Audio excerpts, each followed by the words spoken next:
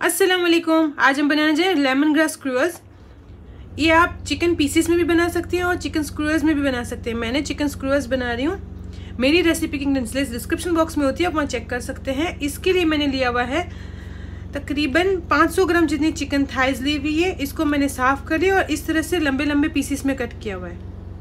अब इसको मैरिनेट करना है हमने। ये बोनलेस है। आप बोन्स के साथ भी ले सकते हैं, मगर मैं स्क्रूअर्स में डाल रही हूँ तो इस वजह से मैंने बोनलेस ली हुई है। इसके अंदर हमने जो मैरिनेशन देना है, उसके लिए मैंने लिया हुआ है तकरीबन दो टेबल स्पून जितना, डेढ़ डेढ़ से दो टेबल स्पून जितना लेमन ग्रास का पेस्ट ये मैंने पेस्ट करके रखा हुआ था, ये वाली लेमन ग्रास होती है।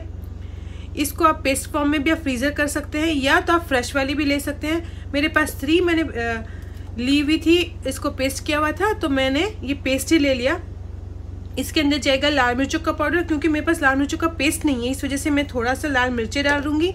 मेरे पास फ्रीज़र में थी तो और थोड़ा सा लाल मिर्चों का पाउडर डालूँगी। हाफ़ टी स्पून जितना मैंने डाला हुआ है। लाल मिर्चों का powder half tea spoon black pepper powder पाव टी स्पून जितनी शुगर सोडा बाई कार्ब है मेरे पास तकरीबन चुटकी जितना, दो चुटकी जितना मेरे पास सोडा बाई कार्ब है।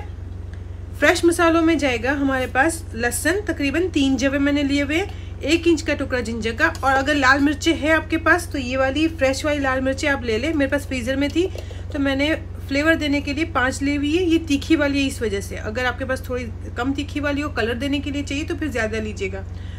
और सॉसेस में हमें चाहिए सोया सॉस, ये मैंने मिक्सचर किया हुआ है। सोया सॉस मैंने लिया हुआ था। वन टेबल स्पून जितना सोया सॉस। ऑयस्टर सॉस मैंने लिया हुआ था। वन टीस्पून जितना ऑयस्टर सॉस। और फ़िश सॉस मैंने लिया हुआ था, पाव टी जितना। ये तीनों को मैंने मिक्स किया हुआ है। अब मैं ये पहले ये बिल्कुल अच्छे से पेस्ट फॉर्म में कर लूँगी, इसके बाद ये सारी चीज़ें इसके अंदर मिला के हम मैरिनेट करके रखेंगे। मैंने अदरक, लहसुन मिर्चों का पेस्ट बना के रेडी कर लिया है, अब मैं इसके अंदर डाल दूँगी हमारा सोया सॉस ऑयस्टर सॉस और फ़िश सॉस का मैंने जो निकाला हुआ था वो मेज़रमेंट और ये सारी चीज़ें हम मिक्स कर लेंगे। नमक मैंने इसके अंदर नहीं मिलाया क्योंकि सॉसेस में नमक होता है। मैं ये मिक्स करूँगी, फिर टेस्ट कर लूँगी, उसके बाद मैं इसमें नमक मिला दूँगी।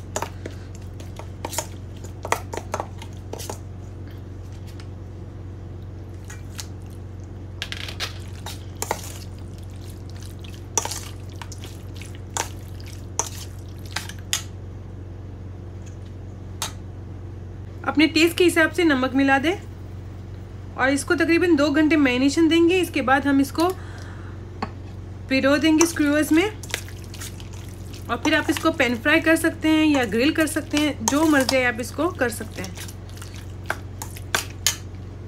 ये मैंने स्क्रूअर्स में पिरो दिया है। मैंने एक के अंदर एक पिरोया, इस तरह से।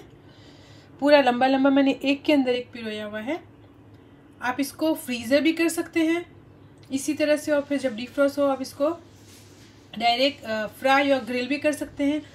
मैं इसको थोड़ी देर और मैरिनेशन दूँगी, उसके बाद मैं इसको पेन फ्राई या ग्रिल कर लूँगी।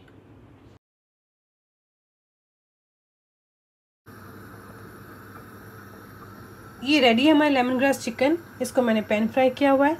आई होप आप ट्राई करेंगे। आपको भी ज़रूर से पसंद आएगा। Thanks for watching